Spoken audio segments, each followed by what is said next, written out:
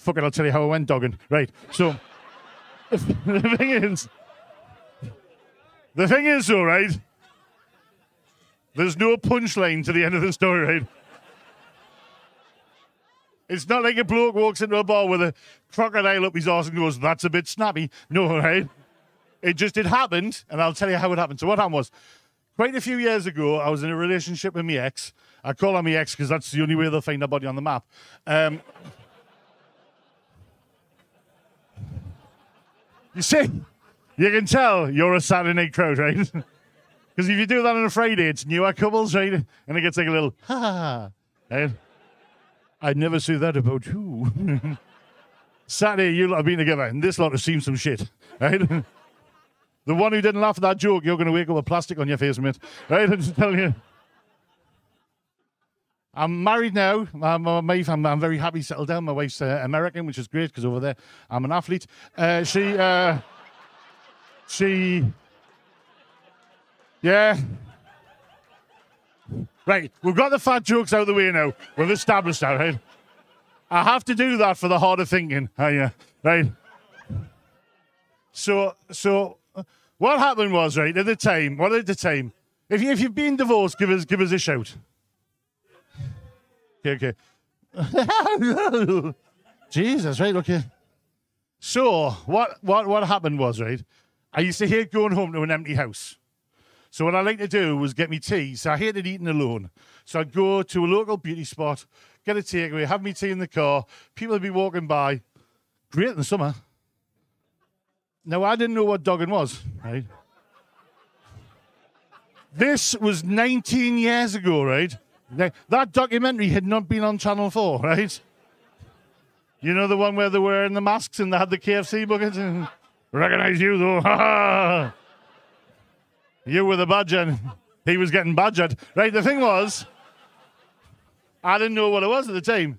So what happened was, at the time, the car I had was a Fiat Punto, which is a very small car for a very large man, all right? When I got in it, it looked like I was trying to put a backpack on, right?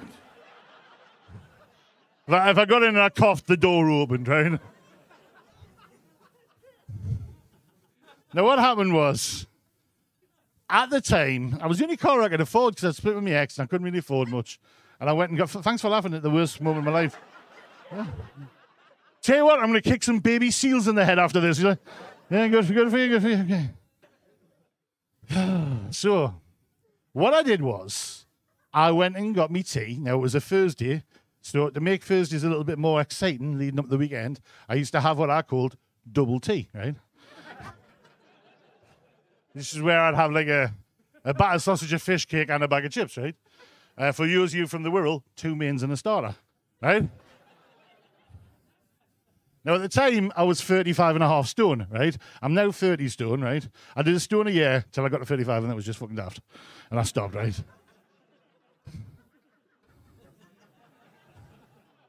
And what happened was, I was in my car, right? I got my car, had my stuff, and I went to this place called Seaton Sluice, very close to where I live. And I was sat in the car park, and I had my tea. Now, the first thing was, I got in the car park, and my chips were really hot. Do you know why you put salt and vinegar on your chips? Why you put vinegar on your chips? Anybody? Taste nice. Taste nice. Cool down. Who said cool down? That's thanks, babe.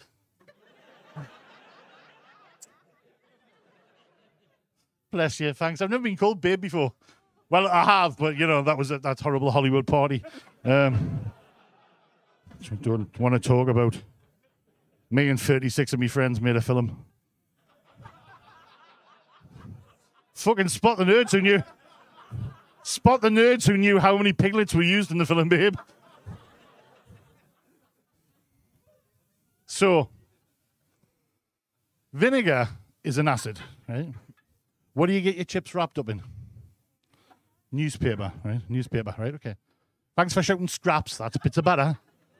You've had chips before. I know your body doesn't say it has, but you have. You've also seen blonde, but I can see the fucking black roots. Now, what happens is acid is a vinegar, right? So it reacts with the acetone in the ink on the print, causing a chemical reaction which causes the vinegar to heat up, aptly keeping your chips warm until you got home. I'm like a chubby Stephen Fry, right? I could tell you things about cream eclairs that would make you shit. But I'm not going to because we're talking about dogging. Now, the thing was, right? The thing was, my chips were really hot. I put loads of. Oh, by the way, nowadays, obviously, you get your chips in them little styrofoam containers. You put enough vinegar in, it's like you got like a little tequila bomb at the end. like a little, little, little, little shot of aftershock. he can dab it behind his ears, you know. So, my chips were really hot. Put them on the dashboard of my car, which was my first mistake. Because it made the windows of the car steam up. My second mistake was I reached for me battered sausage. Now,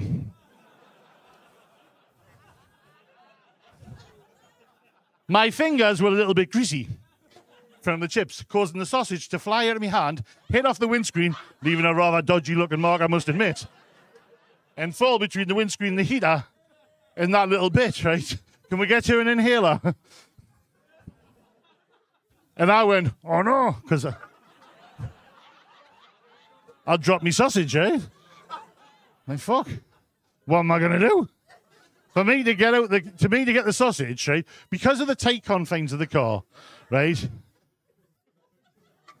Me reaching for that sausage was like watching a T Rex trying to pick up a CD.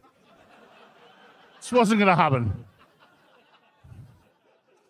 The only way I could get the sausage was to open the car door, step out, grab it, but that was like a fucking workout. That wasn't gonna happen, right? So all I did was I let as far forward as I could try and get the sausage. But I'll put this in scientific terms for you, right? The steering wheel bib, right, was pushing against my chest, forcing all the air out of my lungs, right? So every time I leaned forward, I went, hmm. Hmm. I think she's a bit further ahead of where we're going to here. Hmm. But I noticed with me going back and forward, the back and forward motion was causing the sausage, um, like a cylindrical meat device, right, to roll back and forward like that. And I thought, if I build up enough speed, that sausage is going to jump into my hands like I'm Luke Skywalker, right? I could hear a voice in me back of my head going, use your fork. But I didn't. I didn't. Put that in for you fellas, Ray.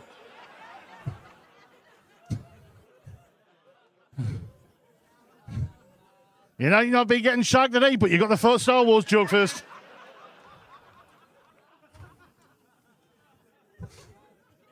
Now imagine you're Dave the dog out for a naked dog in action, right? And all you see is a Fiat Punto pull up. The windows steam up. It starts rocking back and forward. And every time it rocks, all you hear is, hmm. Next thing you know, I get a knock on the window, right? So I wind down the window, and this bloke says, What have you got? And I said, I've got a battered sausage and a fish cake, right? And he said, Are you from Manchester? Now, at this point, I noticed he had no trousers on and his penis in his hand, right? And I said to him, What the fuck are you doing? Right? Because I had a hot chip in my mouth, right? I can't do any impressions, right?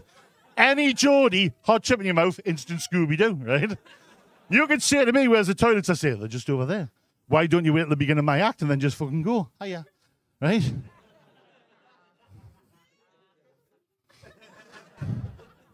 Hot chip in my mouth. it just happens?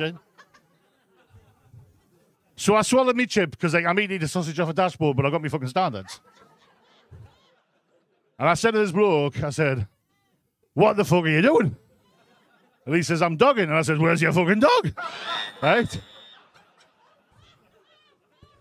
She can come to every single gig. Thank you. I've always wanted to be. I have always wanted to make a woman scream like that. Uh, I thought it was going to be me falling on somebody, but it's fucking happened. Right? And he explained to us, he goes, I'm dogging. And I said, and he told us, you go to the car park, watch people sex, and have join in. And I went, you dirty bastard, right? Now, at this point, I noticed he had four mates and they were rocking the car back and forward. Not like that from side to side, which wasn't fucking helping the sausage any, right? It was going back and forward like an old school typewriter, and the heating grates was shaving the bottom of my batter off, right? Every time I got in the car in the winter, I'd switch the car on, put the heating on. I wanted chips, and I didn't know why. So I thought, fucking hell, I've got to get out of here. And then he goes, We're going to chin you. No, I've got a lot of chins. I thought this could fucking hurt. So basically, I managed to get the car started. My fingers were too greasy. And that's when I discovered I could drive a Fiat Punto with my belly.